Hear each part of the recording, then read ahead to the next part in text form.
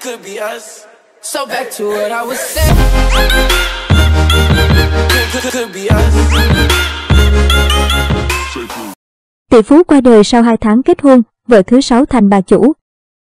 Các nguồn tin thân cận với gia đình Lardner cho biết sau cái chết của tỷ phú 91 tuổi, chắc chắn sẽ có một cuộc tranh giành tài sản giữa các con và vợ của ông. Tỷ phú người Áo Richard Lardner đã qua đời ở tuổi 91, chỉ 72 ngày sau đám cưới với người vợ thứ sáu, Simone Trelander, 42 tuổi. Trước đây, Lardner từng kết hôn với Christine Freiner hôn nhân kéo dài trong giai đoạn năm 1961 đến 1978. Cornelia Lafourfuller 1979 đến 1983, Susan Dietrich 1984 đến 1989, Christina Lackner 1990 đến 2007, cũng như người mẫu kim diễn viên Playboy Kathy Smith 2014 đến 2016. Doanh nhân khởi nghiệp trong ngành xây dựng này có 4 người con, Jacqueline 30 tuổi, Nadine 39, Alexander 58 và Andreas 55. Sau cái chết của tỷ phú, bốn người con và vợ thứ sáu của ông, Rolander, đều có quyền thừa kế khối tài sản của Lackner. Nhưng vấn đề có thể trở nên rắc rối trong thời gian tới vì các bên đều đang có mâu thuẫn với nhau. Bà chủ duy nhất, Lackner đã bàn giao công ty xây dựng của mình cho các con trai Alexander và Andreas từ nhiều năm trước. Nên điều đáng quan tâm hiện tại là ai sẽ thừa kế trung tâm mua sắm và rạp chiếu phim trong khu phức hợp Lackner City ở giữa vn. Người vợ mới Jolander sẽ nhận được bao nhiêu tài sản thừa kế? Jolander đã ký hợp đồng tiền hôn nhân với tỷ phú Lackner, nhưng đổi lại bà đã có một ghế quản lý tại Lackner City với mức lương hàng tháng 5 con số. Jolander nói với E24, tất nhiên trong hợp đồng có ghi rằng tôi là người quản lý. Ngày mùng 1 tháng 8, Lackner đã đưa Jolander lên làm giám đốc trung tâm mua sắm và rạp chiếu phim Lackner City. Ông chia sẻ với tờ báo Hugo Áo, đến một lúc nào đó, khi tôi không còn ở đây nữa, bà ấy sẽ là bà chủ duy nhất. Vì vậy, bà được cho là sẽ thay thế người chồng quá cố của mình, làm chủ khu phức hợp và không phải ai trong gia tộc Lackner cũng thích điều này.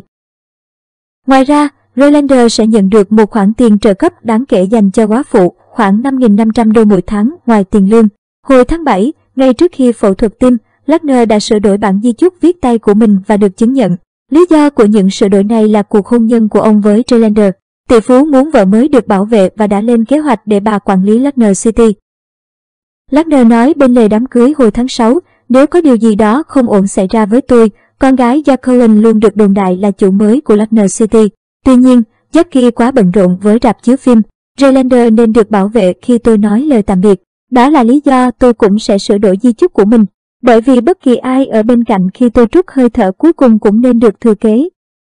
Theo một người trong cuộc, tỷ phú cũng đã cấp cho Relander quyền sống trong biệt thự Dublinger. Như vậy, khi Relander còn sống, các con của Lerner sẽ không có quyền tiếp cận tài sản này. Cuộc chiến giành tài sản Theo các phương tiện truyền thông địa phương, mối quan hệ giữa các con của Lerner hiện rất căng thẳng và đầy ngờ vực. Các nguồn tin thân cận nói với Bi rằng người vợ thứ bốn của Lerner, Christina Lerner, và con gái của bà với Lerner, Jacqueline, sẽ đấu tranh bằng mọi cách để đảm bảo Jacqueline nhận được nhiều nhất có thể. Christina Lackner cũng đã phát biểu với giới truyền thông Áo với tư cách là người đại diện cho gia đình sau khi Lackner qua đời. Bà dường như ám chỉ đến việc con gái bà sẽ bị cuốn vào một cuộc chiến tranh giành tài sản của Lackner. Con gái chúng tôi Jacqueline sẽ làm mọi thứ trong khả năng của mình để đảm bảo di sản của Richard được bảo tồn và mọi thứ được thực hiện theo đúng mong muốn của Richard. Các con trai của Lackner, Alexander và Andreas đã thừa kế công ty xây dựng của ông trước đây. Dù đã cắt đứt liên lạc với Andreas gần đây do mâu thuẫn, Lackner không xóa tên người con này ra khỏi bản di chúc mới. Theo tờ Kroninger Tung của Áo, các con trai của tỷ phú cũng tham gia quản lý quỹ của cha mình, một tổ chức phức tạp bao gồm các công ty, bất động sản, tiền bạc. Theo một số tờ báo địa phương, rất khó để ước tính tài sản của Lackner, nhưng đáng kể nhất là Lackner City 80 triệu euro, một số bất động sản 14,5 triệu euro, các khoản đầu tư 13,6 triệu euro. Tuy nhiên, tỷ phú này cũng để lại khoản nợ khoảng 40 triệu euro.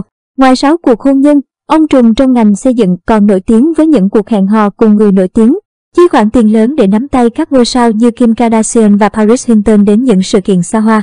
Lackner từng tiệc tùng với cựu thành viên Spy Girl Gary Halliwell và siêu mẫu Grace Young, những người đã cùng ông tham dự vũ hội opera thường niên ở Vienna. Tháng trước, Lardner đã phẫu thuật tim tại Bệnh viện Đa khoa Vienna. Năm 2016, Lardner thông báo rằng ông bị ung thư tuyến tiền liệt, căn bệnh mà ông đã chữa khỏi sau nhiều tháng xạ trị. Sau đó, ông được chẩn đoán mắc bệnh ung thư da vào năm 2020 và căn bệnh tái phát vào năm 2021, sau khi ông trải qua ca phẫu thuật để điều trị cả hai bệnh. Hiện tại, nguyên nhân cái chết của Lardner có thể liên quan đến vấn đề sức khỏe, nhưng vẫn chưa được tiết lộ chi tiết.